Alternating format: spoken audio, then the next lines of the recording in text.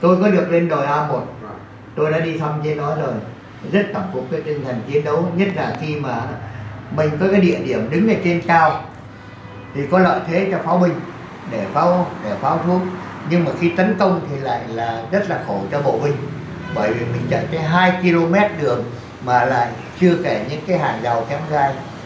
20 cái hàng rào kém gai mà trước khi mình lên lên được cái đồi A1 thì ờ, rồi có những cái sự hy sinh như là cái hố bộc phá. Thì sau cái cái bộc phá đó thì quân pháp nó đầu hàng. Thì như vậy là ông chắc là may mắn lắm đó tại vì lúc đó là nghe nói bộ đội mình hy sinh rất nhiều. Tôi thuộc trung đoàn năm bảy đại đoàn 24 dạ. Giao cấp trên giao cho là bao vây hộp vũ. Tức là quân pháp nó đặt ở đây này. Dạ. Hộp vũ anh nhìn thấy này, là cánh đồng bằng phẳng của lòng chảo điện biên thôi. Đúng rồi con dạ. Quân pháp đặt ở đây một cái sân bay lớn dạ đúng. để vận chuyển bằng hàng không từ Hà Nội đến tiếp tế cho ở Điện Biên. dạ. Trung đoàn chúng tôi được giao nhiệm vụ bao vây, cái sân bay. Bao vây không. Nhiệm vụ thứ nhất là không cho cái bọn ở đây này, nó bố trí đây trên 2.000 tên cơ. dạ. Có trận địa pháo, có xe tăng, hệ thống chiến hào và là hàng rào rất kiên cố. Dạ. Nhiệm vụ thứ nhất là không cho những tên ở đây đi chi viện cho các nơi khác. Dạ. Trong trong các cái ờ, quân đóng ở nơi khác của của Pháp. dạ. Nhiệm vụ thứ hai là không cho nơi khác đến đây để lượm nhặt dù vì máy bay trên kia nó dạ. thả xuống đây. Để không cho nơi khác đến đây. Để lấy dù về để, để, để cho nuôi các cái bọn ở các nơi khác. Nhiệm vụ thứ ba là có cơ hội để tiêu diệt hùng vũ dạ. Thế như vậy là chúng tôi rất gian khổ. Dạ. Máy bay nó quần đảo suốt ngày đêm pháo sáng nó thả như ngày như đêm, đi lại trên đất thì rất khó mà hy sinh. Cho nên đơn vị chúng tôi phải mất hàng chục ngày đêm, nào mà cái hệ thống giao thông hào và chiến hào dài hàng trăm cái số cộng lại, cho nên bây giờ mới đi lại vận chuyển cái này, ăn ăn ngủ ở trên hào. Đấy thế, rồi chúng tôi cứ thế chúng tôi qua vội ép dần, không cho địch ra cướp dù. Đặc biệt đó, chắc anh cũng nghe rồi, đại tướng võ nguyên giáp có nói là, nếu đánh tranh thắng nhanh ấy, chỉ có bốn nghìn viên đạn tháo thôi.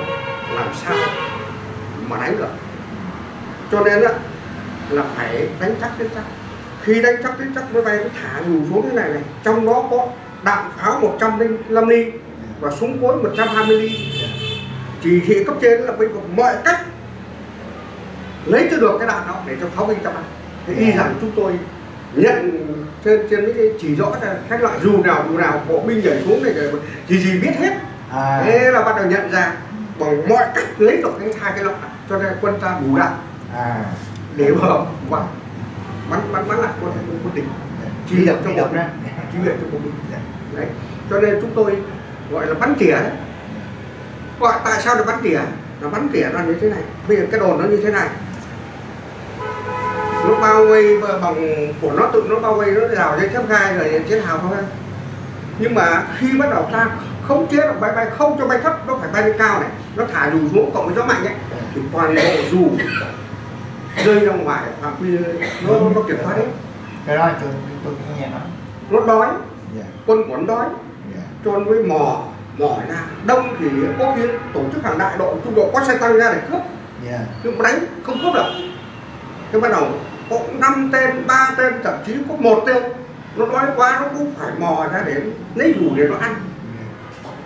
Thế cho nên là chúng tôi bắn tỉa cứ ba, tổ ba người thôi, dựa vào chiến hào này. Này thế ăn đây, ngủ đây. Ba anh thì hai ngủ mấy thức, lấy dây dù ấy buộc vào chân nhau. Thấy địch ra là bắt đầu giật. Giật báo cho. Thế là giật hay. Đấy là Ở Việt là Nam là, là, là, là, là kiểu đó. Chứ không không cho thằng nào ra. Thế sau bây giờ chúng tôi dân dịch hậu tôi quen rồi chả sợ gì pháp Vâng à, thì à, có lẽ thời gian nó eo hẹp nên thì à, chúng tôi lại có có nhiều chương trình. Vâng. thì cảm ơn rất nhiều để trong tương lai đó à, có dịp khác à, tôi hy vọng rằng tháng năm này sẽ trở về đây để tiếp tục cái công việc đó. Bởi vì tôi biết là cái vấn đề đào đào rau sông Hào á nó đào thì nó không cái gian khổ đương nhiên rồi. Nhưng mà làm sao mà lại giấu được những cái đất cái cát ở dưới đó? Cái thực ra sông Hào nổi thì không nói gì mà lại còn những cái cái đường hầm dưới làm sao mà lấy cái cát đi mà để tất đi nữa? Để vứt cái, cái cát đó đi đấy để cái, cái đất ra đi. Đó, đó là những cái mà chúng tôi nghĩa là vẫn còn thắc mắc. Nhưng mà với con mắt của một người quân nhân tôi cũng là một sĩ quan của binh chủng ờ, Việt Nam quân của Việt Nam Cộng Hòa. Thành khi mà tôi lên tôi nhìn cái đồi đó đó hai dòng nước mắt mình chảy ra.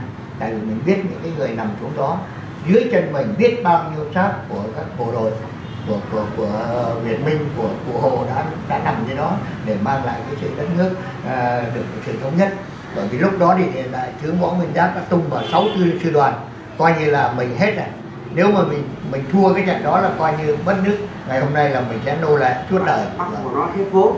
Dạ. mình, mình thua được hết vốn. Dạ mình đúng là đánh hết vốn đấy. Mà lúc đó đó thì là mà ngoài cái trận mà thế chiến mà Mỹ bắt được quân Đức thì chúng ta thấy rằng là, là có đó là cái, trận lớn nhất mà quân Pháp bị bị bị à, bị bắt làm tù binh hơn 13 ngàn tù binh lúc đó. Và lại được là lính của mình thì đói bộ đội mình đói nhưng mà đó tù binh Pháp mình vẫn nuôi cho nó ăn uống. Đó, đó là cái tinh thần nhân đạo mà cả cụ Hồ đã người Việt Nam mình có rồi. Việt Nam mình dạ vâng. Mà bây giờ thế này. Dạ. được rồi anh hứa như thế thì tôi cũng chưa biết thế nào nhưng năm nay tôi 83 tuổi rồi. Dạ vâng. Năm 68 tôi là tiểu đoàn trưởng. Dạ. Ở Huế chỉ huy thì một tiểu đoàn dạ. Đánh trong Huế dạ. Mà bây giờ đơn vị chúng tôi vào là ở miền Bắc vào á dạ. trang bị toàn AK của Liên Xô và Trung Quốc cả thôi. Nhưng mà anh biết rồi đó. Dạ. Một cơ số đạn 250 viên đánh được mấy trận? Dạ đúng rồi. Toàn bộ như vậy sau tôi bỏ hết? Tôi lấy toàn bộ vũ khí của Mỹ cho trang bị cho tiểu đoàn tôi mũ đầu anh em không biết nhưng sau anh em mình biết dạ. Quân của ông ấy. Dạ. Tôi bị bắn đạn em không cháu ta nói quân của ông ấy chúng tôi bắt được. Dạ. Hoặc ra hàng hoặc là ấy. Thì bắt đầu chúng tôi giải thích và anh em nhập đi với chúng tôi coi như là một công dân à của quân đội nhân dân Việt Nam. Anh em huấn luyện cho lính của tôi sử dụng các cái loại em đó. tất cả loại vũ khí của Mỹ. Đấy lý do là như thế. Cho có dịp tôi kể cho anh nghe về cái chuyện ở trong Huế. Đơn vị chúng tôi rút ra sau cùng. Dạ. Ngày 27 dạ. đêm 27 dạ. Chứ không phải 25 dạ. Đấy thì anh ấy hứa hứa như thế tôi bị thương ngày 30 tháng 11 năm 68 à, đấy. Dạ và bị bằng súng em 16 đạn em 16 quý vị dùng súng và chúng tôi bắn chúng tôi.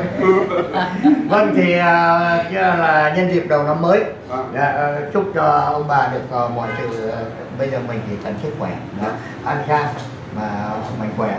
Dạ, đó là cái điều vui mừng cho chúng ta. Thì năm nay tôi cũng sinh năm 46 và tôi còn đặc biệt nữa là 19 tháng 5 Dạ, ngày À, ngày ngày- ngày- Dạ, cùng với bác hồ Vâng. thì à, một cái vinh dự năm ngoái tôi đã tổ chức à, sinh nhật ở Hà Nội Vâng. thì năm nay tôi sẽ tổ chức sinh nhật ở trong à, thành phố Hồ Chí Minh À. thành phố mang tên Bác Vâng. thì à, chúc cho hai bác được à, mọi sự à, an khang Vâng. à, à, mạnh khỏe và năm nay là năm à, à, Bính Thân Vâng. là hành kim Vâng. mà tuổi Bính Tuất là hành thổ Mà thổ sinh kim À. mà cục ra thì lại hỏa thành ra tất cả đều là có đều là tốt hết cho cái Vâng. buổi Bính Tuất của, của, của bà chị tôi Vâng. tôi cũng Bính Tuất Vâng. À, vâng. Thành ra cảm ơn ông bà rất nhiều và thời gian vâng, để phỏng vấn và tôi nghĩ là những tư liệu này sẽ giúp ích cho rất nhiều cái những cái tuổi trẻ thế hệ mai sau cũng như là những người mà ở người Việt Nam ở khắp nơi